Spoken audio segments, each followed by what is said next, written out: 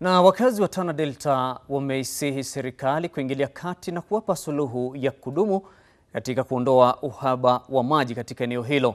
Mwenyekiti wa shirika la kijamii katika kaunti hiyo, Abdul Aziz Gakuria, amewaahidi wakazi wa Tana Delta kuchimba visima katika vijiji vyao ili kuwanasua kutokana na uhaba wa maji.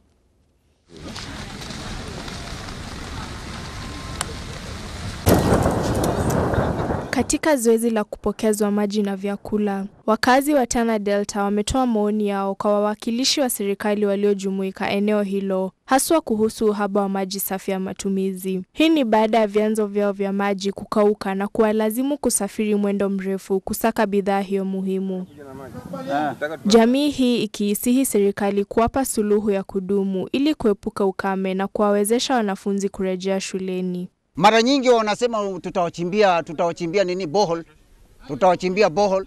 Wanaleta mashine hapa inachimba, ikifikisha eh, futi 80 wanasema hakuna maji, tumekosa maji, na pengine hata wame, wame, wa, bado tu wafikie futi kumi tu mbele wapate maji. Pilio letu ni kwa serikali, national government, county government watusaidie, kwa sababu hali ndio hii, hali ya uchumi imekuwa ngumu. Eh, huku kwetu ni mbali, tuko mbali na Delta. vilevile vile watu hawana chakula, anjaa inamaliza, mfugo imeisha, eh, madamu zimekauka, shule watoto wameshindwa kusoma, tumeshindwa kupeleka watoto, hakuna maji, hakuna kila kitu.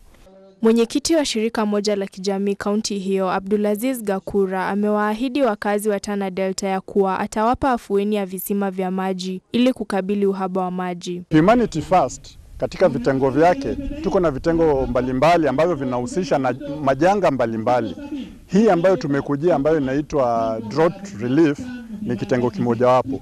Kingine ambacho tunaita water for life kinahusika sana sana na mambo ya kutafutia watu maji ambayo ni maji yapatikane yaweze kuhusishwa kwa muda mrefu, sio hii short term ambayo tumeleta water bowser peke yake. Baadaye tunataka kufanya mpango wa kuchimba kama borehole ambayo inaweza kuhudumia watu wengi zaidi. Mbunge wa Garsen Ali Wario ameishukuru serikali kuu kwa nafuu ya vyakula na maji, huku akiitaka serikali kuchimba visima katika eneo hilo ili kupunguza makali ya ukame. Sasa na, naomba tu serikali itumwe wale engineers ama surveyors, wale hydrological surveyors wapimwe, tujue kwamba maji inapatikana wapi na kwa umbali gani ndio inapatikana maji. Ndio maji ikichimbwa sehemu hizi, hizi sehemu zitaendelea na watoto watabaki mashule.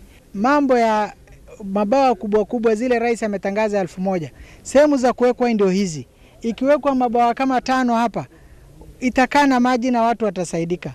Wakazi wa eneo hilo wameishawishi serikali ya kaunti na serikali kuu kuungana mikono na kutatua tatizo la ukosefu wa maji, wanawake haswa wakipitia changamoto ya kutembea safari ndefu ili kutafuta maji ya matumizi ya nyumbani na pia kuepusha vifo vya mifugo kutokana na ukosefu wa maji na chakula.